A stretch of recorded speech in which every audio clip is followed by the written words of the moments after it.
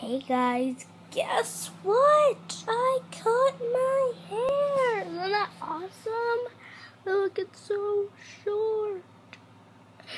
Uh, I'm gonna cry. Yeah, um, I might not be posting that many videos because I got school. Yay, for second grade. So yeah, um, we're doing lots of things, and I'm in case apparently, and now I have my glasses on because my mom took them and she taken them to the doctor. So yeah, um, one of these days I'm gonna end up doing a room tour. It's very mess with my room. This isn't even mine. We're selling that dollhouse, by the way. So yeah, bye guys. Toodles.